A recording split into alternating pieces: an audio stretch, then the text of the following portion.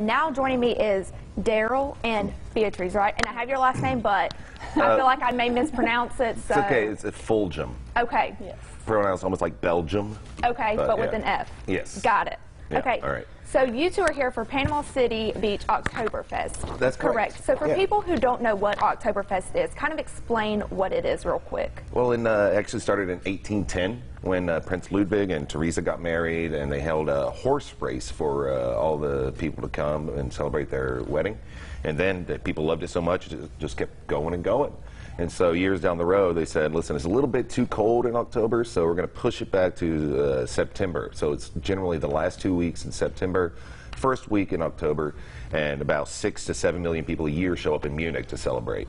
All right, and Panama City Beach, of course, having theirs. When is their event taking place? So it's going to be this upcoming weekend, um, and it starts Friday at 4. It goes 4 to 11 on Friday, and then noon to 11 on Saturday, and then Sunday is 11 to 5.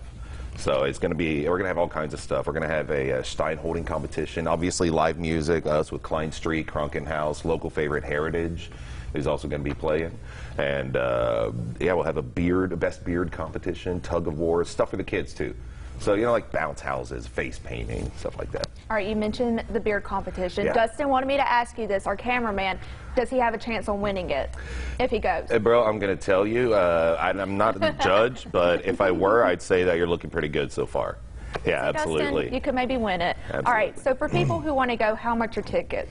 Uh, tickets start at $10 for general admission uh, per day, and then all the way up to VIP three day passes. You can just go to PCBOctoberfest.com, and that's Oktoberfest with a K.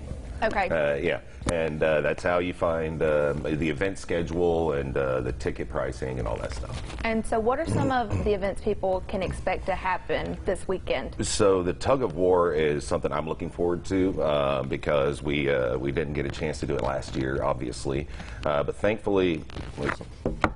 No storms going to interrupt this, this this year, yeah. Uh, but yeah, and also um, a Stein holding competition. Who can hold a liter of beer out the longest? And uh, Make sure you have some upper arm. yeah, exactly. For that. Yeah, yeah, for sure. Um, and what was the other one? The best beard, uh, the Alphorn blowing competition. So we'll see who can blow the Alphorn the best. All right, and then food-wise, what can people expect food-wise? Oh, geez. Uh, obviously, bratwurst, um, pretzels, and there's going to be a lot of local food vendors around. Uh, so, I mean, I don't even have that list, so I can't tell you exactly, but it's going to be a lot.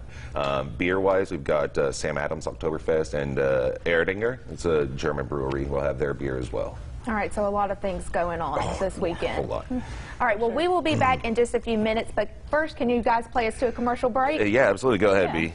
Thank you.